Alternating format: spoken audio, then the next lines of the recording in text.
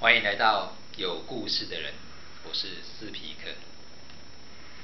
人啊，都说金钱是罪恶，都想捞；都说美女是祸水，都想沾；都说高处不胜寒，都想爬；都说贪吃伤身体，都不省；都说天堂最美好，都不去。人。就是这么矛盾，但有一句话说，我们不可能永远知道接下来会走到哪里，要在哪里转弯。但如果没有出发，就只能停在原地。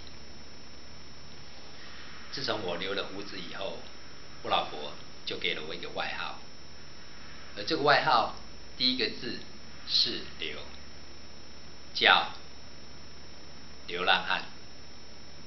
因此，我就决定在工作这条路上不要当个流浪汉。但要如何做呢？持有工作机会是项恩赐，拥有工作能力是项祝福，加上热爱工作，一定成功。这段话就贴在我家客厅。我常在想，在我创业的路上，若能够将这段话串起来。一定会是成功方程式。有个企业家这么说：所有的事都是靠决心，没有方法可以再想，但没有决心，什么都没有。有一个年轻人立志要当门当一名牧师，在美国要当牧师就要通过牧师考试，其中有一项就是公开演讲。年轻人。提前半个月就来到要考试的地方，租了一个旅馆的房间住下来，准备他的演讲稿。演讲稿准备好以后，他每天都在房间里大声地朗读，一直到可以倒背如流。到了考试那天，年轻人胸有成竹地来到考场，抽了签以后，就到台下聆听观摩在他前面考生的演讲。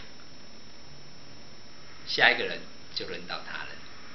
这时，他突然发现台上考生的演讲内容竟然跟他一模一样。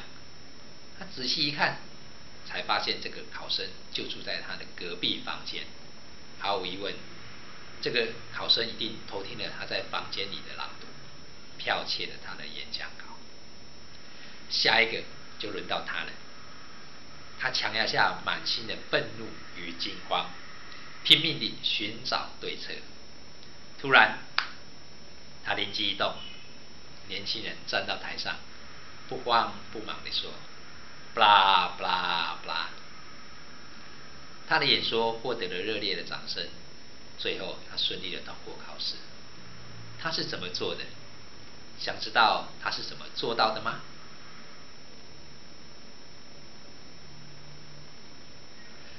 故事是这样子的：年轻人站到台上，不慌不忙地说：“要成为一名牧师，需要有耐心，能够倾听以及好的记忆力。现在我就示范一下，我将重复前一位的演讲。”说完，他开始背诵那篇他精心准备的演讲稿，比前一位考生更精彩、更动人。场上响起了热烈的掌声。